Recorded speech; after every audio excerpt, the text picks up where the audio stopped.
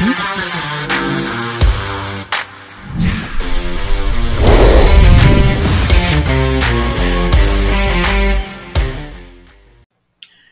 and welcome to the JB&M Sports Fanatic channel. And so, yeah, we have some news from the Pittsburgh Steelers here. And so they're going to be signing linebacker Tuzar Skipper. And so a little bit about Tuzar here. He went to college at Toledo. And so actually his birthday is June 5th. So birthday coming up soon. But he's six foot three, about 246 pounds here at the linebacker position.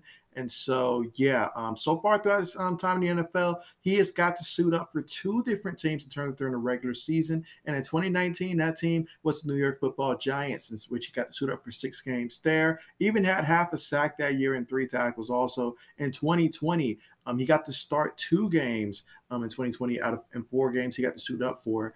And so, um, yeah, definitely, obviously, going to come in here and going to try to compete hard and try to add some depth here for the Pittsburgh Steelers linebacking corps. And so, we'll see how this works out here from the Pittsburgh Steelers with him. And obviously, you know, at this point of the year, a lot of guys are going to be brought on at this time of the year.